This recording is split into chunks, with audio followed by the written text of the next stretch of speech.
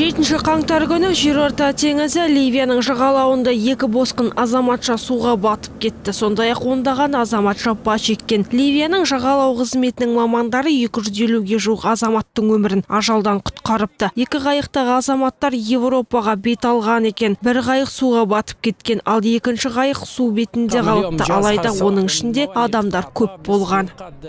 жағалау қызметі шамамен 250-270 азаматқа көмек көрсетті. Олардың қатарында балалар мен әйел адамдар бар. Құтқарылған азаматтардың барлығы гарабул жағалауына жеткізілді. Медициналық көмек көрсетілген. Кейін барлық жандарға көмек көрсету орталығына жіберілетін болады. Бір күн бұрын италияның жағалау қызметі ливияның 84 босқынын құтқарды. Алайда 8 азамат мерт болыпты. Жерорта теңізінде апатқа ұшыраған қайықты сенбі күні патрульдік ұшақ тауып алған жағалау қызметінің мамандары босқындарды судан шығарып қауіпсіз жерге орналастырған. Жүздеген мың африка елдерінің тумалары сахара арқылы ливияға табан тірейді. Олар бұл жерде заңсыз тасымалдаушыларға европаға жетіп алу үшін ақша төлейді. Өткен жылы оның жағалауларында босқындардың саны 170 мыңнан асып жығылатын еді. Босқындардың 120 мыңдайы италияға қоныс аударған. Бұл көрсеткіш өткен жылдармен салыстырғанда екі үш есеге көп. Босқындардың санын италиялық және ливиялық бірге жұмыстанудың арқасында азайту мүмкін болды. Бұрындары қос тарап заңсыз адам тасымалдаумен айналысатын кемелерді жағып жіберуге жағалауда патрульдік қызметті күшейтуге уәделескен еді. Алайда біріккен ұлттар ұйымы босқындар ливияға келген соң тығырыққа тап болады.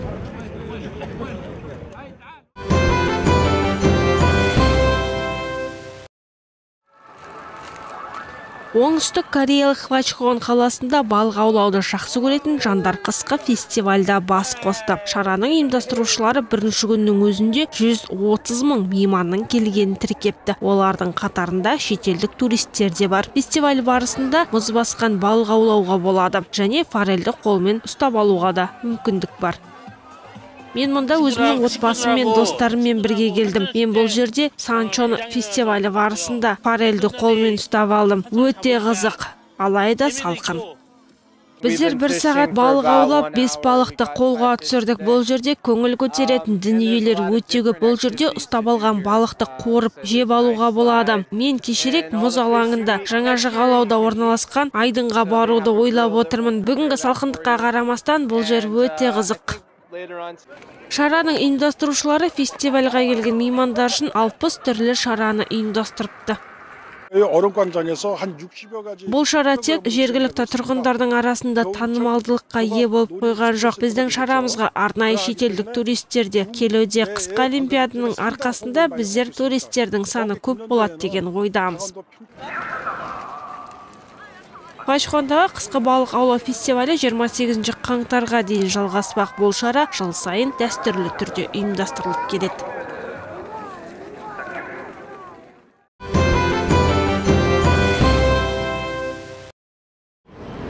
Венесуэланың астанасы каркараста супермаркеттерде ұзын сонар кезек пайда болды. Сенбі күні елдің президенті николас мадуро дүкен иелеріне бір ай бұрынғы бағадай азық түліктердің бағасын төмендетуге бұйрық берді. Қазіргі таңдағы гиперинфляция барысында бұл бағалардың арзандатуы бұқара халыққа үлкен септігін тигізуде. Бағаның арзандату саясатының салдарынан азаматтар тауар сатып алғысы келген еді. Ал мына секілді супермаркеттер өз жұмысын бастамапты.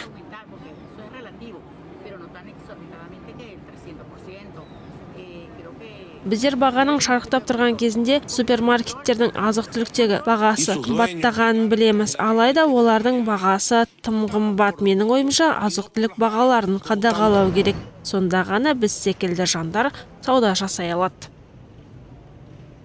Өткен жылдың 31 желтоқсанда мадуро ең төменгі жалақыны 40 пайызға асыратын хабарлаған еді. Алайда көптеген экономисттер бұл елдің атқарушы билігі әлсіз жүйені құруда оның салдарынан ауыр апатқа ұшырау қаупі жоғары деген пікірлерін білдіруде. Өткен ғасырдың қаңтар мен қараша айларының аралығында бағаның өсімі 1369 пайызды құрапты. Мұндай мәліметті елдің парламенті келтірген еді. Ал парламент оппозицияның қарамағында алдын ала болжам бойынша барлығының бағасы 2000 пайызға өскен. Алайда венесуэланың билігі инфляция жайлы ақпаратты таратпайды. Бағалардың өсімін болдырмау үшін мадуро жүйелі түрде ең төменгі жалақының өсімін көбейтіп отырған. Алайда бағаның қымбаттауына байланысты мыңдаған венесуэлдық кедейлік шебінде қалып отыр. Бүгінгі таңда венесуэладағы орташа жалақы ай сайын 800 боливарды құрап отыр. Бұл 700 доллардан кемдеу. Жалақының біраз мөлшерін азық түлік немесе талон арқылы береді. Миллиондаған елдің тұрғыны күніне үш рет тамақтана алмайды. Ең соңғы жалақының өсімі бағаның қымбаттауына әкеліп соқты. Оппозициялық саясаткерлер мадуроның экономикалық модельдерін бас тартпауы мен елдің билігінің қадағалауы жағдайы биыл да қиындатпайық деседі сондай ақ жағдайда ақшаны басып шығара беру де қауіпті болмақ. Алайда орын алған жағдайға николас мадуро өзгелерді айыптайды. Жақында өткен жарты сағаттық жолдауында жергілікті бақ өкілдері мен шетелдік тілшілер арнайы үгіт насихат жүргізіп жатыр екенміз ал ішкі жаулар венесуэлалықтарды шабуылдап ұлттық валютаны төмендетуді көздеп отыр.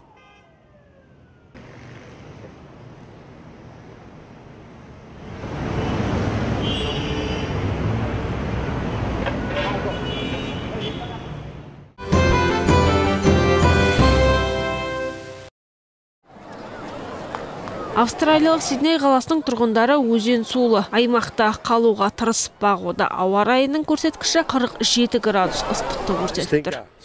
Ыстық бұл керемет. Таңертеңгілік ыстықта ұйықтау мүмкін емес. Метеобюроның мәліметі бойынша мұндай ыстық 1939 жылы орын алған екен. Көше қиылыстарындағы бағдаршамдар қызып кетіп жұмысын тоқтатыпты. Кейбір жерлерде электр жағанағының сөнгені де белгілі болып отыр. Көптеген жандар медициналық көмекке жүгінуде. Ауа райының ыстығы австралияның үш штаттарында орын алуда орман алқаптарында өрт пайда болды. Виктория мен оңтүстік австралия орын алған жағдайға байланысты төтенше жағдай жариялаған. Айталық виктория штатында елу өрттің ошағы бар. Төрт жүз тұрғын үй қызыл жалынға оранып үлгерген. азаматтарға біздің бағдарламамызға құлақ түрулері керек. себебі біздер уақытылы жаңадан ақпар беріп отырамыз. оған құлақ асқан жөн. себебі бұл ақпар адамзаттың қауіпсіздігі үшін маңызды екені айдан анық. Осы уақытта біріккен ұлттар ұйымының дүниежүзілік метеорологиялық орталығының мамандары әлемнің түпкір түпкірінде ауа райы туралы ақпар беріп жатыр. Ақштың солтүстік шығысында канада қытайда қатты суық орнап екпіні қатты жел бар. Еуропада ауа райы жып жылы сәрсенбі күні францияның каннысында ауа райының көрсеткіші 23 градус. нөлден жоғары болып көрсеткішті жаңартқан еді бұл уақытта франциядағы ауа райы 11 градус болатын. Бұл 6 градусқа көп деген сөз. Ал бұл испания бұл жерде мадрид пен севгония қалаларын жалғайтын 70 шақырымдық жолды қар басып қалған. Төрт мыңға жуық жүргізуші автокөлікті қонуға мәжбүр болыпты. Оларға құтқарушылар көмекке келген.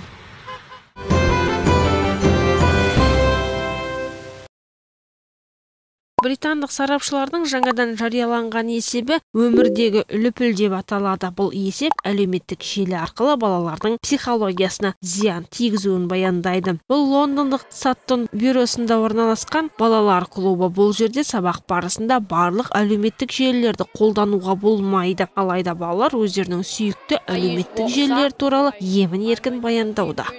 Мен ватсапты қолданамын ол жерде бірнеше топта менің мектептегі барлық достарым бар. Мен инстаграм мен ватсапта бармын. Мен ватсапты қолданамын жай ғана хабарлама жіберу үшін скайп пен гуглдың де көмегіне жүгінемін. Есепті англияның балалар ісі жөніндегі комиссары дайындаған еді. Бұл үкіметтік емес ұйым. Алайда парламенттің қарамағында жұмыс жасайды. Үкіметтің есебінен қаржыландырылады. Құжатқа сәйкес әлеуметтік желілер балалардың психологиясына кері әсер етуде. Мұндай қатерге бастауыш және орта мектептің оқушылары ұшырайды екен. Жеткіншек әлеуметтік желілердің лүпіліне тәуелді болып өте сезімтал бола бастайды. Ресми түрде әлеуметтік желіні 13 жастан бастап қолдануға кеңес беріледі. алайда тәжірибе жүзінде балалар кеңеске құлақ түрмейді. Біздің мектептерде цифрлық сауаттылықты алтыншы жетінші сыныптан бастап үйретсе деген тілегіміз бар. Мектептерде онлайн барысында қауіпсіздік жиі айтылады. Алайда эмоционалды тұрақтылық туралы ешқандай ақпараттың жоқтың қасы қордаланған мәселе ұлыбританиядан өзге елдер арасында да алаңдаушылық тудырып отыр. Айталық ақш жеткіншектер арасында өз өзіне қол салу фактілері көбейген деседі. Алдын ала болжам бойынша балаларға жағымсыз әсерді мінсіз өмір қалдырады екен. Әлеуметтік желілер көп дүниені жасады енді олар бұдан да үлкен жұмыс атқаруы тиіс әрине ата аналар өз кезегінде балаларына 13 жастан бастап әлеуметтік желіні қолдануға рұқсат бергені абзал алайда осы тұрғыдан алып қарағанда біраз қиындықтар туындайды көптеген ата аналардың фейсбук пен инстаграмда парақшалары жоқ олар мұндай парақшалардың балалардың психологиясына тигізер залалы туралы білмей жататын жайттар жиі кездесіп тұрады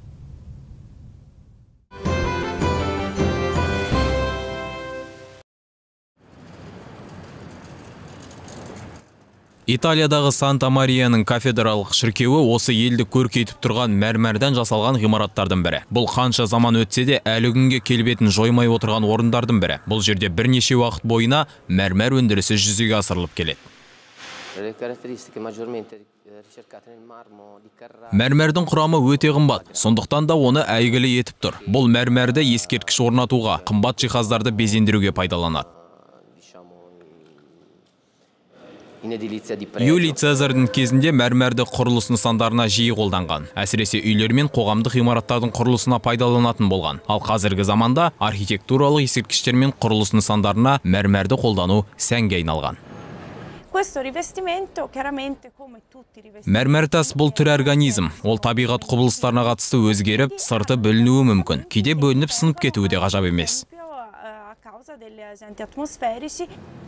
Мәрмәрден әдемі мүсіндер жасауға болады. Оларды көшеде қоюға да болады. Қазіргі заманғы шеберлер көшедегі ғимараттарды жаналау кезінде қатты мәрмәр түрлерін таңдайды екен. Егер тым қатты болса ол сынып кетуі мүмкін. Сондықтан жұмсақтау болуы керек. Сондықтан бізге табиғи жағдайларға шыдамды тас керек. Осы мәрмәрді италияда біраз тарихи ғимараттарға қолданған. Қазір елде мәрмәр өндірісі де жақсы жолға қойылыпты.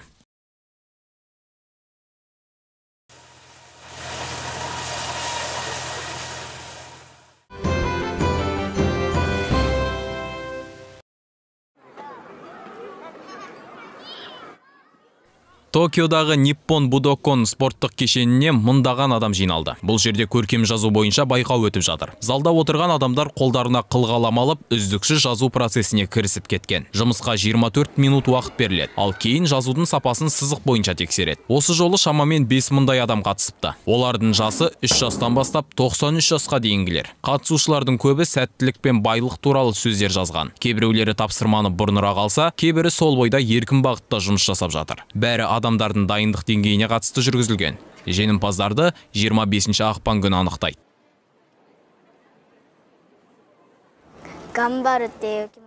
мен бүгін жазу үшін барымды салдым. Мен осы жылы әдемі жазудың иесі болу үшін барымды салдым. Болашақта кәсіби жазушы болғым келеді. Азияда иероглиф жазу арқылы әдемі жазу кең таралған. Бұл адамдардың жадын жақсартуға көмектеседі дейді.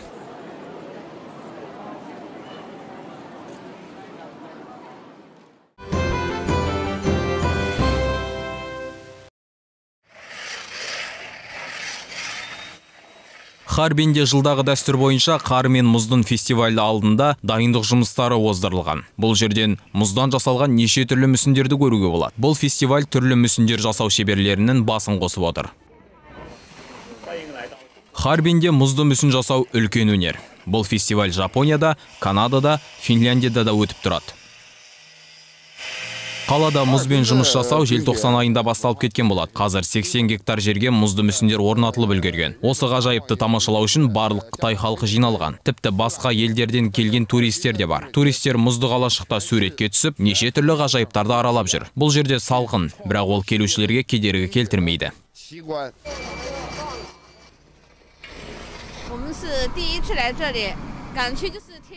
Мен бұл жерде алғаш рет болып тұрмын. Өте әдемі рас салқындау.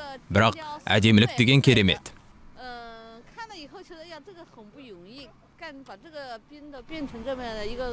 Мен бұл жерде бала шағамен алғаш рет келіп отырмын. Әсіресе мұздың жарқырап тұратын кезінде әдемілік деген керемет. Маған мына үлкен мұздан жасалған сарай ұнайды. Кешкісін жарық жанған кезде өте әдемі болып кетеді. Харбинде бұл мұзды фестиваль 1983 жылдан бері өтіп келеді.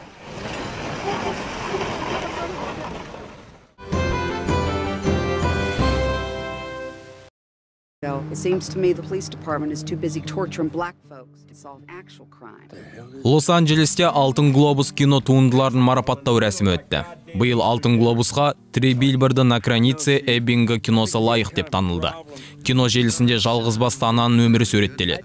Қызы қаза болған ана полицияның әрекетсіз отырғанына шағым айтады. Кино желісі осылайша дами береді. Киноның режиссері Мартин Макдонах. Осы марапаттау рәсімінде киноның ең басты рөлін сомдаған әртістер барлық құрам түгел марапатқа ие болды.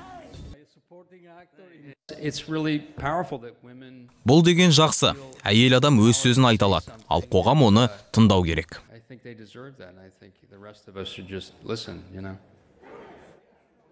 Ал үздік комедия марапатын Леди Берт киносы жеңіп алды. Осы фильмде басты рөлді сомдаған Сирша Ронон үздік комедиялық рөл әртісі атағын алды. Мен үнемі айтып жүремін. Мен осы фильмім арқылы мақтанамын. Бұл кинода сөздің құдіреті суреттеледі. Сөз арқылы әлемді өзгертуге болады.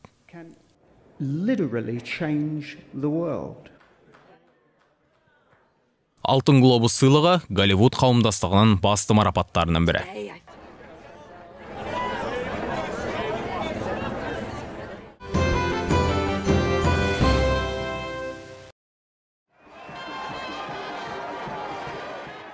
Колумбияның Пасто қаласы өте тыныш қалалардың бірі. Бірақ бүгін осы қалада үлкен мереке ұйымдастырылып, қала шуға толып кеткен. Жылдағы дәстүр бойынша қалада ақтар мен қаралардың мейрамы ұйымдастырылып жатыр. Бұл жерде испандықтар, үндістер, африкалықтар деген үш топ бар. Бұл мереке 1607 жылдан бері ұйымдастырылып келеді. Сол жылы африкалық құлдар испан билігінен демалуға арналған бір күнді беруін сұраған. Сол кезде Испания королі 5 қаңтарды белгілеп, Африка құлдары демалатын күн деп атапты. Олар осыны естіп, қара нәсілдер қатты қуанып, көшеде той тойлапты. Міне содан бері осы күн қара нәсілділердің мерекесі аталып кеткен.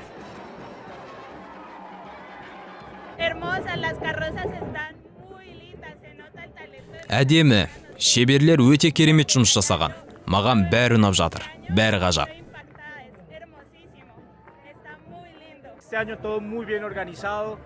Пасто қаласының тұрғындары үшін бұл үлкен мереке. Биыл өте өзгеше етіп ұйымдастырылыпты.